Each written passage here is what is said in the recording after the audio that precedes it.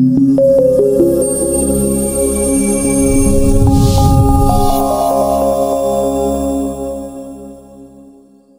Obniżenie pensji prezydentów, wójtów i burmistrzów to decyzja rządu. Przedstawiciele władz samorządowych mają od lipca zarabiać średnio o 20% mniej niż dotychczas.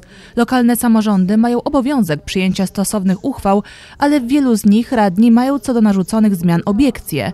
Podobnie było w powiecie kościerskim. Całe rozporządzenie, e, które, e, które zostało mm, przez Radę Ministrów, Ministrów wydane, e, jest decyzją polityczną i nasi radni e, właśnie przy tej uchwale bardzo długo dyskutowali i powiem wprost, było mi miło słuchać, że się z nią nie zgadzają. Niepodjęcie uchwały mogłoby jednak skutkować wyciągnięciem konsekwencji z powodu niewykonania rozporządzenia. Starosta zaapelowała więc do radnych o podjęcie decyzji zatwierdzającej obniżenie jej pensji. Nie wszyscy dali się przekonać. Ostatecznie siedmioro radnych było za, sześcioro na nie, a dwie osoby wstrzymały się od głosu. Obniżka została więc przyjęta jednym głosem. Ono jest niższe o 1550 zł niż do tej pory.